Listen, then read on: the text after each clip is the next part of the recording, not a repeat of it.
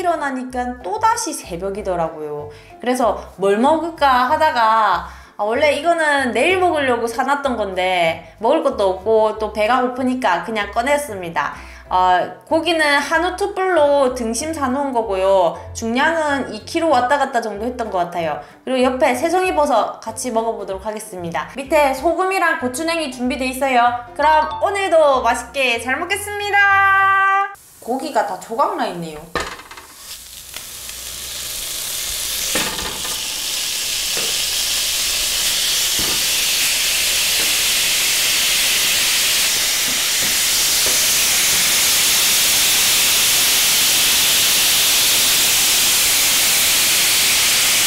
원래는 이거를 냉면이랑 같이 먹으려 했는데 지금 냉면집이 다 문 닫았더라고요. 오늘은 고기만 먹을게요.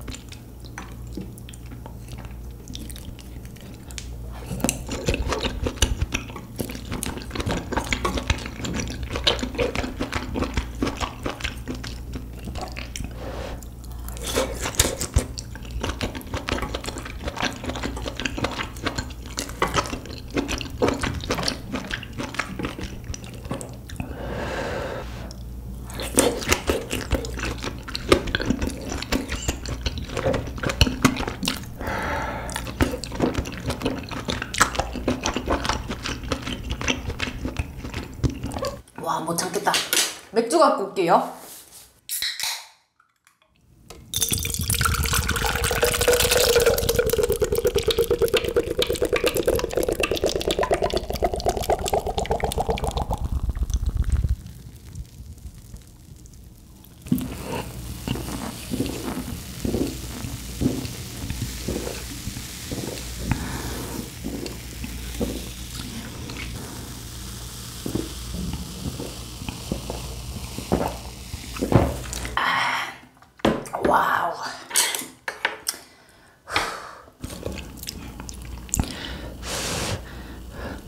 き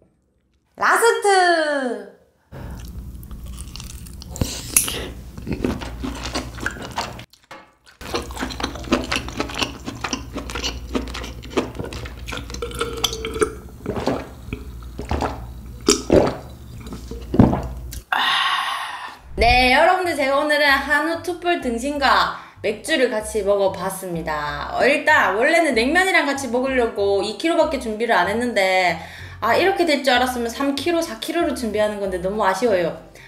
아, 지금 여기서 흐름이 끊기면 안 되는데 빨리 저는 후식을 먹으러 가보도록 하겠습니다. 아 그래도 오랜만에 맥주랑 같이 이렇게 한우 같이 먹었는데 어 역시 어른의 맛 어른의 맛 너무 맛있었습니다. 오늘도 다들 감사합니다. 시청해주신 여러분들, 오늘도 다들 좋은 밤 되시면서 맛있는 거 드세요. 오늘 하루도 좋은 밤, 꿈밤 되세요.